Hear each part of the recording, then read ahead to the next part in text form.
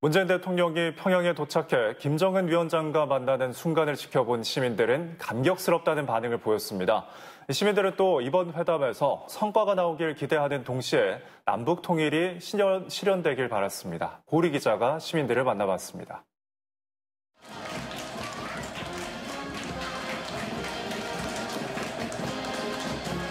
김정은 위원장하고 우리 대통령하고 만나서 악수하고 서로 그 별로 아무 어색함 없이 인사하는 게 신기했어요. 올 들어 세 번째 정상회담을 지켜보며 학생들은 통일에 대한 소망을 쪽지에 담아내고 북한에 가서 맛있게 냉면을 먹고 금강산으로 올라서 인증사실 찍을 거예요. 사행시를 지어 발표합니다.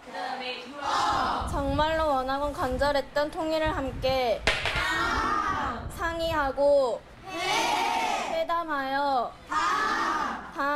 통일의 벽을 깨자. 두 정상의 만남을 넘어 한반도 비핵화에 대한 성과에 관심이 모아졌습니다. 북미 간의 대화 고착 상태에 있으니까 우리 문 대통령 중재 역할을 잘 해가지고 북미가 대화도 잘 순조롭게 진행이 되고 어, 우리 남북 관계뿐만이 아니라 또 연방에 있는 다른 국가들과의 관계도 더 완화되고 좋아질 수 있는 기회가 되었으면 참 좋겠다고 생각을 합니다.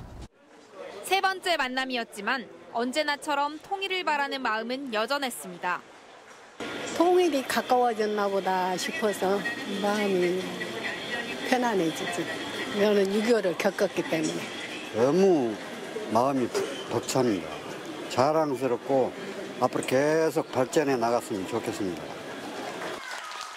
KBC 고울입니다.